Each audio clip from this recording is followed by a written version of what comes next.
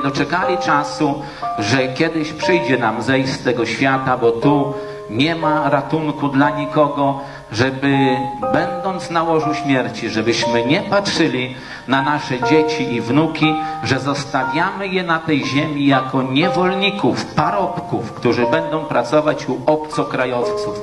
Żeby nam nie było przykro wtedy, bo na pewno będzie to dla nas wielka przykrość. Albo jak jeszcze te dzieci za parę lat przyjdą i powiedzą, że to wasza wina, rodzice i, i dziadkowie, bo gdzieżeście byli wtedy, jak lewer z trybuny sejmowej krzyczał, że złodzieje rozkradli kraj.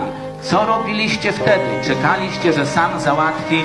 Nie, drodzy Państwo, sam nie załatwię, a my chcemy tylko godnie żyć. My chcemy uczciwie, rzetelnie pracować, ale za tą pracę móc zapewnić godne życie sobie i naszym rodzinom. Dziękuję bardzo.